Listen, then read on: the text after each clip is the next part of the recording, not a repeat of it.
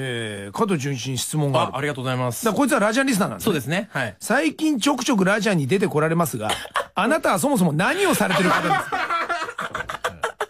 ね？みんなご存知のみたいな空気出されてますけどそう、ですね。非常に気になりますとあの、僕今、お名前何でしたっけ？えーっとね、松新さんにとったら、はいあなたは何なんだ 本当にすみません。なんかみんなご存知の加藤純一ですみたいな言ってるけど、今、鼻高くなってましたね。申し訳ありません知らないと。僕はインターネットで、あのーお話ししたり、ゲームの実況プレイというものをさせていただいてます。加藤純一と申します。全く説明ベタ。松新が分かるわけない。松新さんちょっと今伝わらなかったですかね？松新は多分まだインターネットやってないもん。あ、うん。あと実況ってのも意味わかんないけど、多分あの野球実況だと思う。確かに。野球か競馬。アナウンサーの方みたいなね。な、何？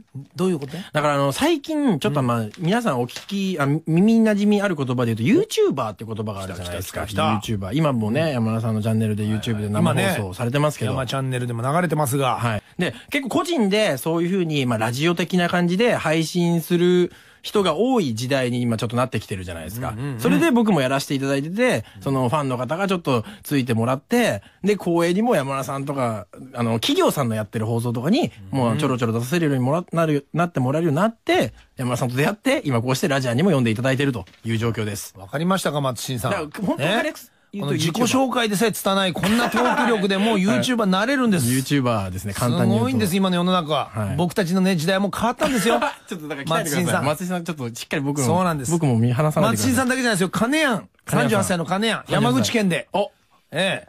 山口県で大人が今いきなりラジオつけて FM 山口つなげたら、はい多分これ聞こえてきたんでしょうね。はい純ちゃんの声が。聞きたいです。おい、はい今日のゲスト、はい誰だ？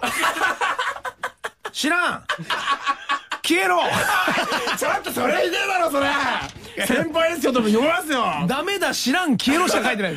ちょっと、金やんさん、聞いてくださいよ、僕の。僕今、吉野家並みに3拍子揃った頃。ねねえ。ものすごいストレートですね。ちょっとでもじゃあ今日、金谷さんの心に響くような言葉残せるように頑張りますよ、僕。聞いててください、最後まで。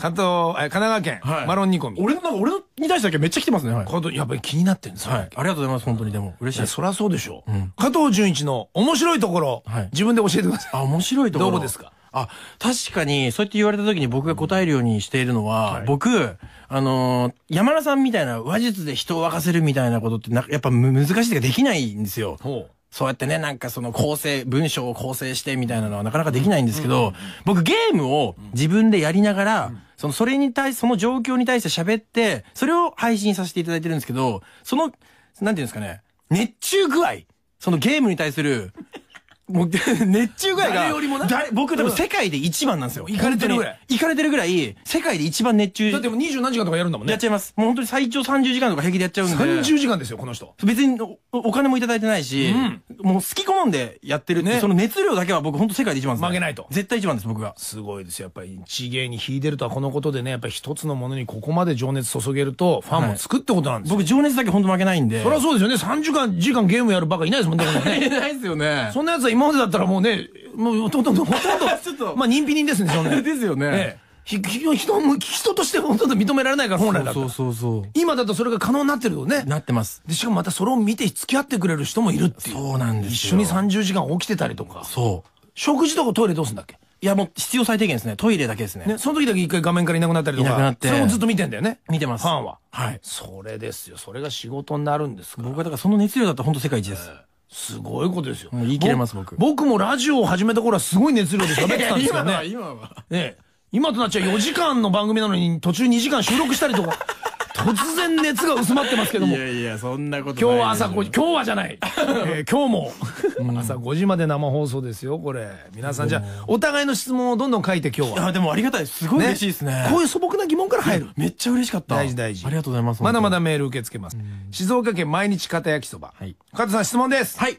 この時間までいろいろ聞いてきたんですけど、はいやっぱり私、あなたが何の人かわからないんですよね。何の人かわからない。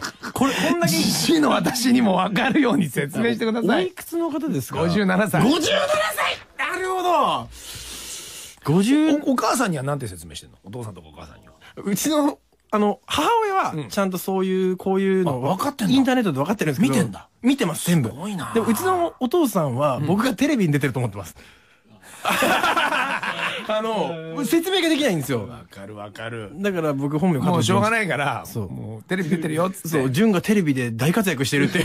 なんかもう地元じゃ、なんかもうそういう風に広がってますね。もうそのまましといた方がいいもんな。そ うそう、だよって言って言ってもな出たことないんですけど、そうだよ、そうだよってじゃあこれ、それでいいんじゃないですかね。毎 毎日片焼きそばさん。はいテレビ風のものに出てる人。すごくわかりやすいですね。ねテレビみたいなもの、ちっちゃいものに出大ている。で、しかも今はテレビ見てる人よりもそっち見てる人の方が多いみたいなので、こっちでも大丈夫ですよ、みたいな。そうですねそ。んなことかな。